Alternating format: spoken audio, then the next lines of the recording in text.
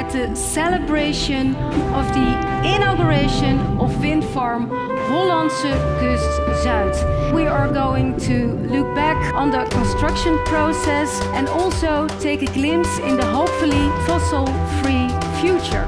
So a big day for us. It is currently the largest offshore wind farm in operation in the North Sea, also one of the largest worldwide. They rise 226 meters out of the sea, and yet we are still not able to see them.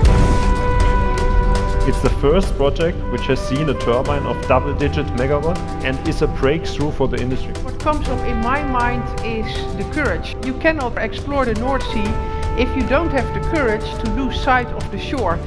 Also very important, we set the first steps and make it certain because it's not only about producing a lot of green energy for the future, but it's also about doing it in a sustainable manner.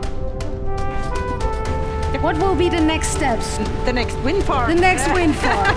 Yeah. Next project with good partners. Yeah, exactly. Perfect. We need to be celebrate and get a few umbrellas. And I would kindly request His Majesty the King to go outside because it's time for the official inauguration of Hollandse Kust Zuid.